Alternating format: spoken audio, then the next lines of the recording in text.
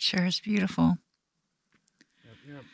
And Next year we'll be better prepared. We just we had like literally two weeks of being on the property before snow was snow and freezing temperatures, and we've managed to accomplish this in just that amount of time. It's, honestly, I'm I'm I'm proud of us for persevering and fighting through it all. It's been it's been tough, but this was a tough build. It wasn't just it wasn't just make a box. There's just all sorts of weird dimensions and the ground had limitations cuz we just laid down the the gravel and everything and it just and everything that could freeze or could suffer from being frozen is inside the RV with us. Yeah. I think the RV has what? Um 400 square feet inside. No. How many did you say? 200 and some? No, I think it's, it's somewhere between two and three hundred, if I had to guess. Yeah, and that's It's difficult to completely estimate off the top of my head because of slides, yeah. but it's roughly what, eight feet by thirty-seven feet. Uh, it's 36 to the tip of the hitch, and that's that's with the uh, the bumper. So it's it's going to be the hitch is four feet, the bumper is another foot foot beyond the back wall. So five feet. So 36 minus five. It's a 31 foot physical structure. And that's not usable space. It's got all of its furniture and everything. So we're literally, we literally just walk around in narrow little paths and everything in here. It's it's really uh, it's difficult. And our pipes are frozen, so we can't do laundry or At this point, after four months of sub-freezing temperatures, our water tank is Oh, probably yeah. frozen. it's going to be quite a while before we have running water. Yeah. Yeah, it's it's bad.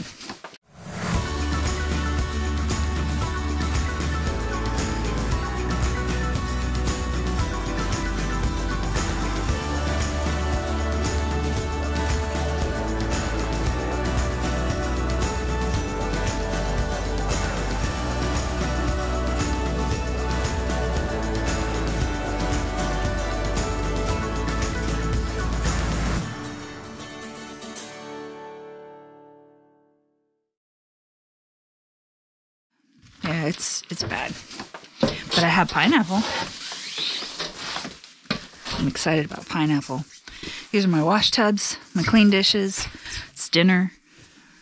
Our box is waiting to go to recycling. It's just kind of a very awkward situation right now.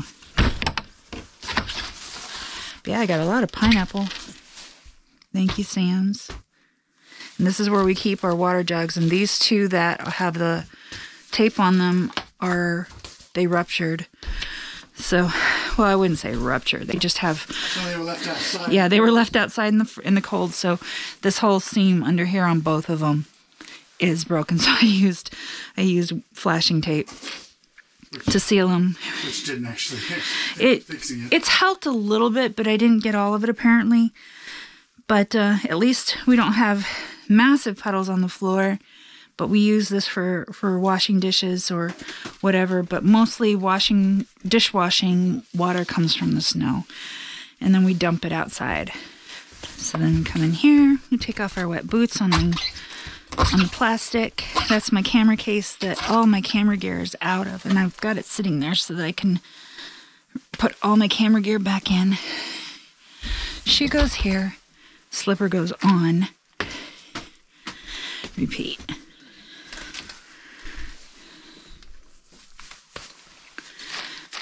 I'm trying to stay organized in all of this, but it's difficult. And it seems like every time we get something organized, something else comes into the mix. I need to get by. I need to change. I have a little more than one hour to get in. And our hallway is single file. And this is where I work. Blankets on my lap. Jordan works here. Blankets on his lap. We just try to charging station. Yeah. Cat food, camera gear, fruit. Um, this is fruit and fruit. And then we have vegetables, beans, and tomatoes.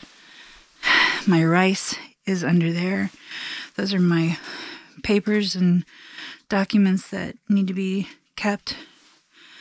Um, TV and everything. And yeah, wet wipes, wet wipes galore. That's for basically that's how we bathe right now.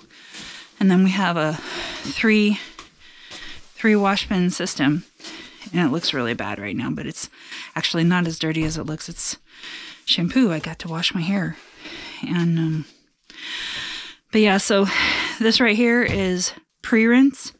This is wash and this is rinse and that dirt in there is actually my container falling apart my my water pot. It's the um where you right there. So we have like no room for anything. This is all clean stuff and everything and just no no place to put anything until we get stuff out. And then we can it's all the gloves and goggles and flashlights for letting the dogs out cat food and storage stuff. the battery from the truck and yeah, it's and then we keep rags down here because if we wash ourselves or track in snow, we just these are like literally just for washing up fallen snow water. Yeah, it's difficult in here. Um, we hang up stuff wherever we can because we are always going outside and getting wet. Most everything fell off the walls when we traveled here. So pictures are down, but there's just no really good way. Valance fell off. Eh, yeah. All right. That's all. Oh, you're wet. Are you wet? You're all wet and cold. Oh. You're wet and cold. Poor baby. Are you wet and cold too? Oh, oh my. Oh my. Oh, so many kisses. So this is snow from the roof. And we've been harvesting um, snow from the saw table for washing dishes. And last night I washed my hair, and I'm so excited.